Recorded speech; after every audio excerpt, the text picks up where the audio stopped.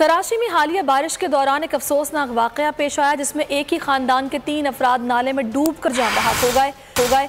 हमारे नुमाइंदे बोल न्यूज़ शाहरुख शाह इस मकाम पर मौजूद हैं, जहाँ ये हादसा पेश आया। उनसे मजीद बात करते हैं। जी, शाहरुख, आगाह कीजिएगा।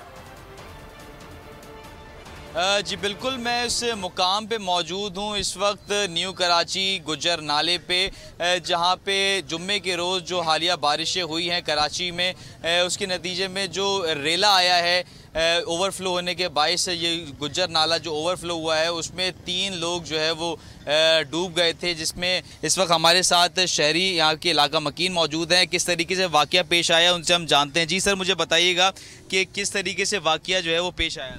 वाकिया तो भाई ऐसा आया था, एक पंचर वाला बराबर में पड़ोसी था, ये नासिर जो था, ये स्टैंड के रखवाली करता था रक्षे बक्षों की तो वो बच्चा डूब रहा था, केबिन जा रहा था उसका तो वो केबिन को बचाने के लिए, बच्चे को बचाने के लिए वो खुद गया, केबिन के साथ वो खुद भी चला गया तो उसके बेटे ने देखा नासिर के तो उसने भी जम मारी, फिर छोटे भाई ने भी देखा, उसने भी जम मारी, एक दूसरे को बचाने के लिए तीनों चले गए।